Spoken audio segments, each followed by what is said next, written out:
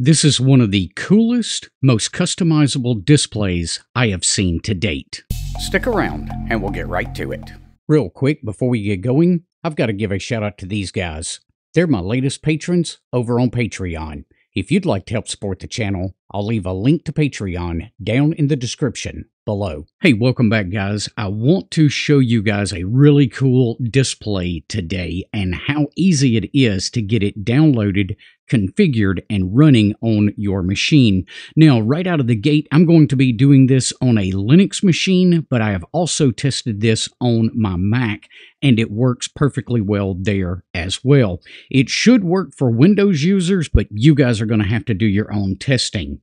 Uh, what we've got here is 12 different customizable panes. And if we double click on any one of these given panes, we'll take this lightning example right here. If we double click on that, we get a full screen view of that particular pane that we're looking at. Let's uh, double click again to go back and we'll go ahead and double click on the forecast that was just above it and you'll see that it goes full screen as well. One other thing is over to the left hand side of this panel we also have all of these different links that we can customize to be exactly what they, uh, we want them to be. So for instance, if we click here on this uh, weather tab that I've got, you'll see that it's going to bring in a weather graphic for us. By simply clicking the back button right up here at the top, we'll go back to the primary display. Now, let's go ahead and show you guys how to get this downloaded and running on your system. You're going to be amazed at how simple this is. The first thing we need to do is head over to github.com forward slash VA3HDL forward slash ham dashboard. Once we get to this page, and guys, I will leave links to everything that I can down in the description below. But when we get to this page, we want to come right up here to the green code button. We'll click on it, and then we're going to click download the zip. While that's downloading, I do want to let you guys know that the developer does have his own YouTube video on this. Uh, we're going to go into a little bit more depth as to how to configure this though in this video today. Also, be sure to read through the directions. Things do change from time to time. This is actually the second time I have filmed this video because he made a change just a few days after I filmed the original. So always come down here and take a look at what's going on with the latest in the README file. All right, after the download finishes up, I headed over to the downloads directory, and what you're going to find is a zip file that is ham-dashboard-main.zip. We're simply going to right click on that and say extract here. And that's going to give us this new directory right here that says ham dashboard dash main. Let's go ahead and jump into that directory and you're going to find several files. Now these examples here are just example images of different dashboard layouts. If you want to look at that, that's fine. Otherwise, that is unneeded information, so I'm just going to go ahead and delete that. What we're left with is these files right here. The critical ones are config.js, ham-html, and wheelzoom.js. All of our changes that we're going to make are in this config file right here, so config.js.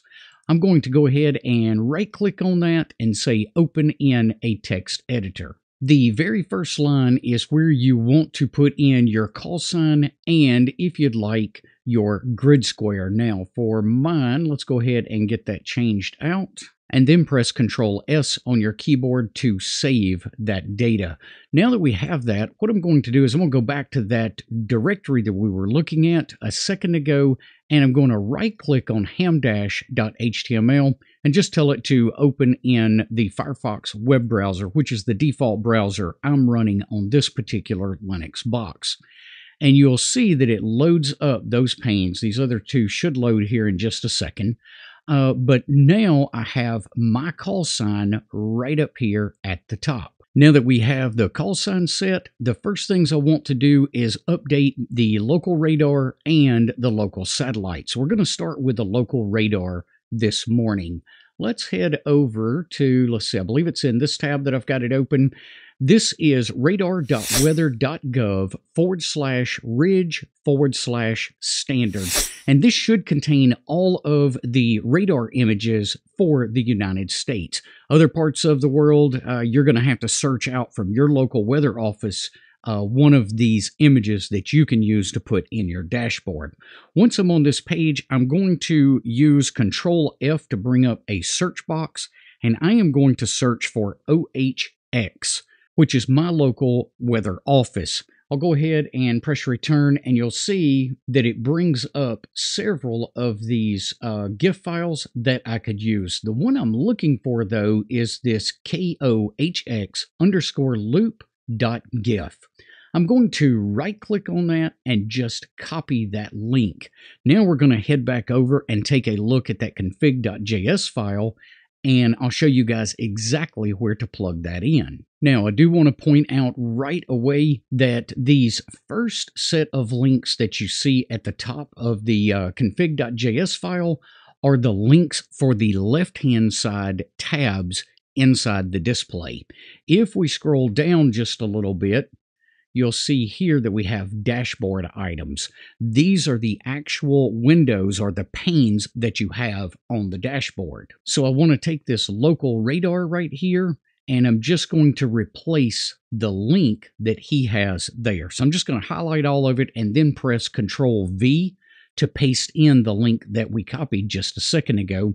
And you'll notice that I've got uh, KOHX underscore loop dot GIF now in that uh, particular link. So we'll press Control S to save that, and then I'm going to jump back to the display itself so that we can verify that those changes took effect. Now don't forget, each time you make a change, you do need to come up to the top and click the refresh button or this refresh button over here on the left and those tabs should work just as well. After refreshing the page, I know that I've got my local radar loaded because I see Nashville right here in the very center, and that's exactly what I was looking for. Next, I want to change out this satellite image. So this time we're going to head over to weather.gov. When we get to this page, we'll just go ahead and click on the satellite link right here at the very top of the page. That's going to load up this next graphic where we can simply hover around to find the specific area that we want. For this example, I'm going to use the Southern Mississippi Valley. So let's go ahead and click on that. And then on the next page, we're going to click on Download Images. Once this page loads up, let's go ahead and scroll down to the very bottom here and we're looking for these last few links. Now, if you want a loop here, you can use this uh, GIF file right here. I'm actually going to use this 300 by 300 JPEG for this particular example, though. So I'm going to right click on that again and go ahead and copy that link. Let's head back over to that config.js file and we'll go ahead and update that local satellite image as well. So right here, you'll see that satellite CGL. I'm going to change that to read local satellite. Now that the header is changed, let's go ahead and change out that link with the one we just copied. Now, when you're making these changes, be careful not to delete the open and closing quotation marks or the comma at the end of the line. Now that we've got that change made, let's go ahead and press Control S again to save our work. And then let's jump back to the HTML file. Right here, it's the satellite CGL that we're changing. I'm going to hit the refresh button and we should see that latest stuff pull right in for us.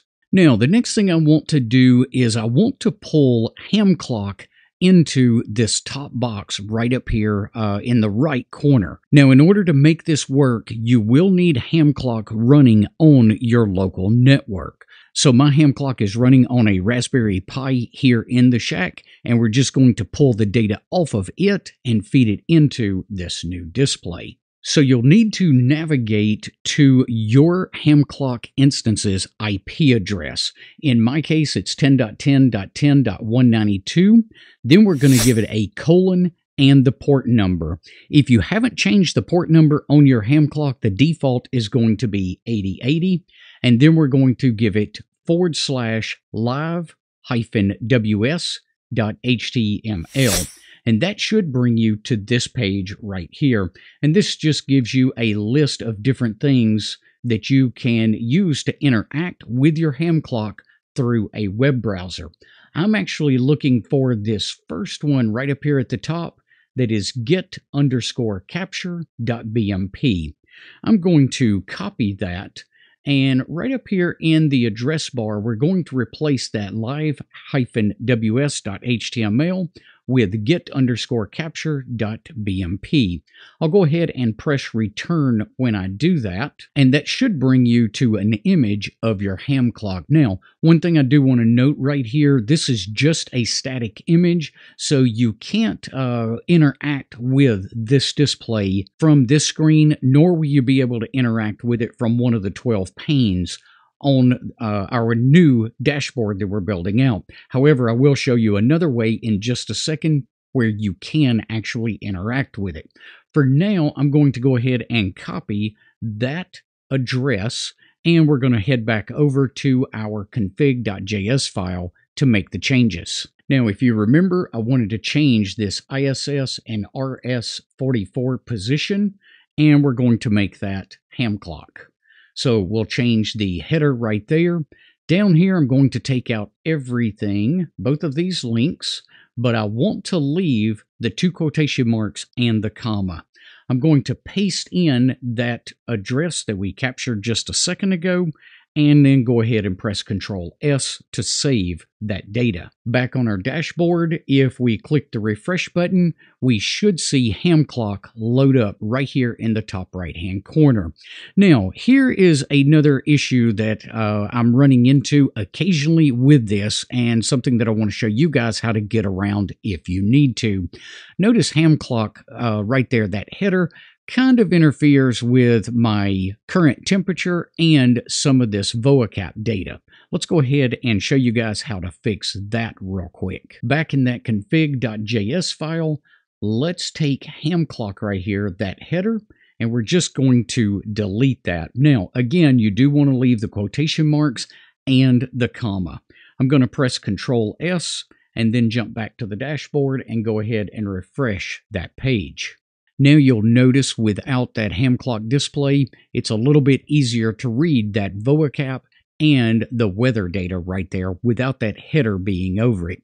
So anytime you don't want that header, just take it out from the config.js file. Now, if you prefer a image that you can interact with, again, I can double click on this one, but I can't interact with it once I open it up full screen like this. So I'm just going to double click to shrink it back down. And then let's take a look at how to load that into one of these tabs over here on the left-hand side of the screen. This time we're going to navigate to the IP address of HamClock colon 8080 forward slash live.html. That should load up this window right here that you're looking at, which looks exactly like what we saw a while ago. But if you notice, if I click on the lock icon, I can unlock this display and now I can interact with it right here inside this browser window. Let's go ahead and copy the IP address of that and move back to our config.js file. Now don't get confused as to where we're working. Remember this down here is the 12 panes inside the main display we have to scroll back up to the top in order to change the uh, links in the tabs on the left-hand side. So I'm going to change this contest right here, and we'll just call this ham clock. And then I want to take this link and replace it with what I just copied, which is that IP address colon 8080 forward slash live.html. Now, you will need to replace this IP address with your actual IP address for your instance of HamClock. Let's go ahead and press Control S to save that and jump back to the dashboard. On the dashboard, let's go ahead and click the refresh button, and we should now see HamClock right over here in our tabs. If we click on that, that's going to load up our instance of ham clock. You can see that that is a live display because the seconds keep advancing right here for the time. And now if I click on that lock icon, you see that it does unlock. So this is an interactive window that we can use. So it really just depends on which way you want to view Ham Clock. If you just want a quick snapshot of what's going on, or if you want the capabilities to fully interact with that window. Next, let's take a look at the way I'm going to use this to pull my APRS data from YAAC into the display. We're going to be changing this lightning local right here this go around. But first, let's go ahead and take a quick peek at YAAC so I can show you where this data is coming from.